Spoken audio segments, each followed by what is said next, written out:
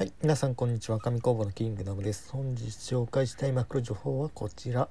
えっと、超熟要塞マクロスが12月の26日にスイッチ PS4 で販売が決定ということで価格は1500円です。はい、原作へのこだわりとシューティングゲームとしての完成度の高さで、まあ、1992年に当時人気を博した、まあ、ゲームとなりますと、はい、アーケードアーカイブス超熟要塞マクロスが来再来月か。2ヶ月後に発売です。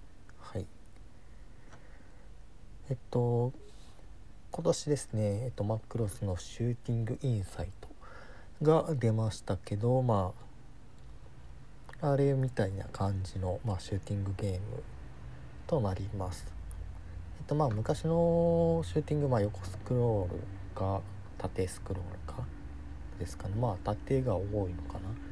まあこれは縦スクロールのゲームみたいです。はい。私やったことがないんですけどまあはい。そのゲームアーケードゲームとなってます、まあ、こんな感じですね。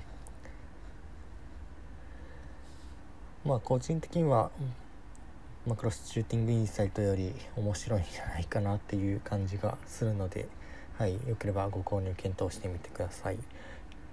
えっと劇場版の相棒ですね。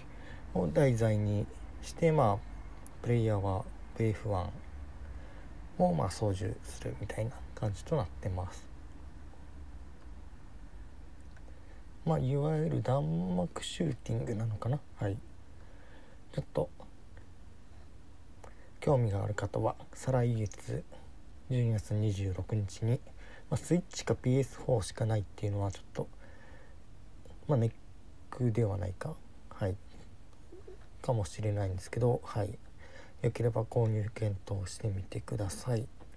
という感じで今回は以上とさせていただきます。よければチャンネル登録高評価よろしくお願いいたします。ではまた次のマクロス情報のでお会いいたしましょう。